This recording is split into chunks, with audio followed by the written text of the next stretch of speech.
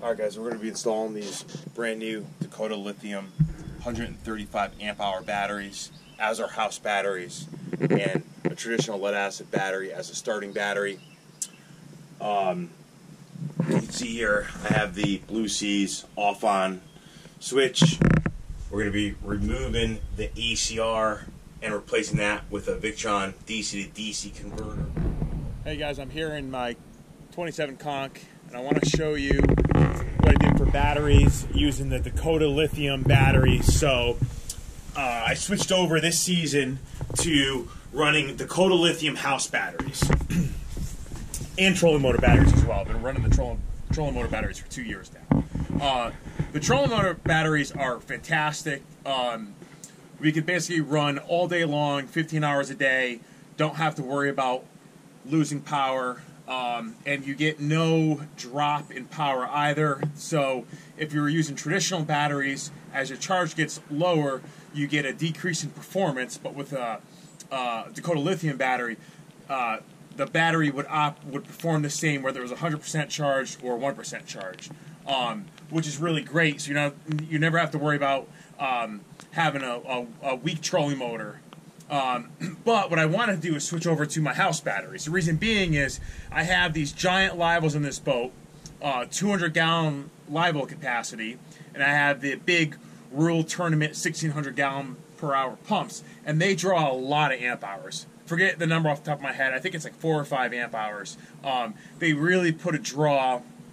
That combined with the two Humminbird Apex 16s, um, I'm pulling a lot of juice out of the batteries, and I was getting a lot of uh, low voltage alarms very quickly, burning through lead, uh, lead acid batteries really fast. So I wanted to try the, the lithium batteries. So I put these uh, these two Dakota 135 amp hour. Now they're actually a dual purpose battery.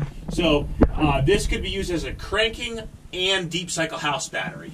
But my question, and like um, I'm sure many of you have the same question or concern, is that the outboard manufacturers. So on this boat, I have a single 300 Suzuki, and um, Suzuki, as well as some some of the other manufacturers, uh, manufacturers, I believe Yamaha's the same.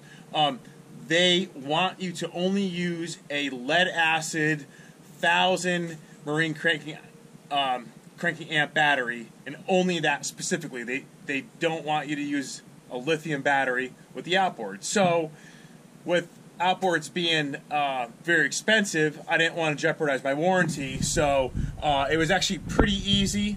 Um, you're still able to keep your lead acid starting battery. So right there, that's my lead acid starting battery.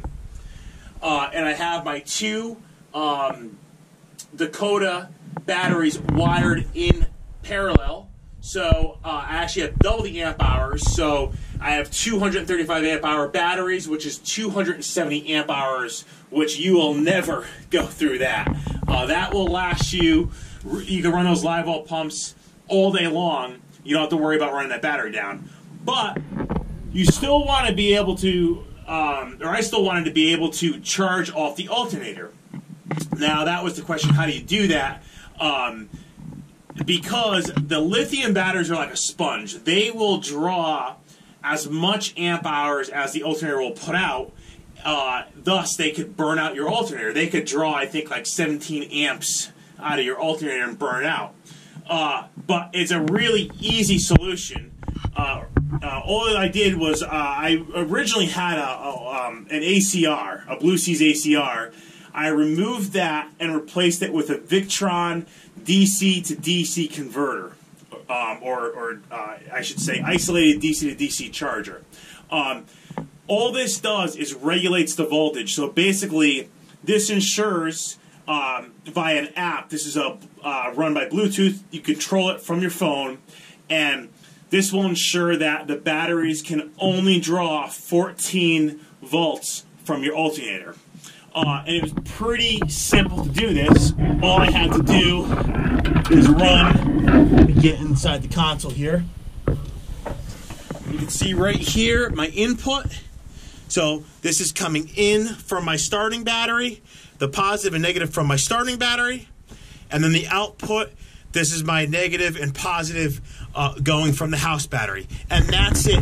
The voltage is now totally controlled, um, so I never have to worry about uh, putting um, too much draw on my alternator. So this is going to protect the alternator. These are relatively inexpensive. I think this was under $200. Uh, very easy to install. Um, and that's it. Now I have 270 amp hours.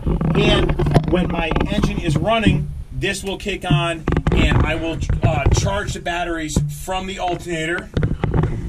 Uh, anytime the engine is off, it will isolate the starting house battery so I never have to worry about drawing from my starting battery. Obviously, you wouldn't want to draw off your starting battery when your engine's off because then when you go to restart it, you could be left with a dead battery. So it's really important that your batteries are isolated when the engine is off and that they're combined when the engine is running so you're charging up all your batteries. So that's it.